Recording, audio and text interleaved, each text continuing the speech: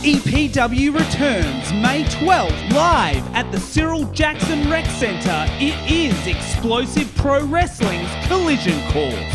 Off of the back of one of the biggest nights in EPW history, Explosive Pro Wrestling presents Collision Course with a main event pitting Generation Zero members, the EPW Coastal Champion Scotty Ryan and the explosive professional wrestling champion, the Don Michael Morleone, against the Untouchables, Damian Slater and Marcus Pitt.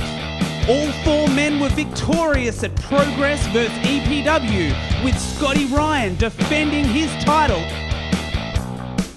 The Untouchables silenced any doubters when they were victorious over the WWE UK Stars Mustache Mountain.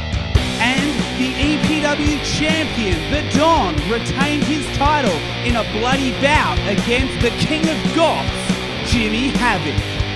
Tensions have been rising between Generation Zero and the Untouchables for some time, and on May 12th, it all comes to a head.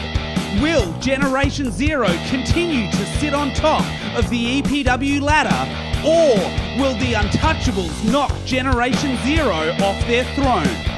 Find out when EPW returns May 12th, live at the Cyril Jackson Rec Centre.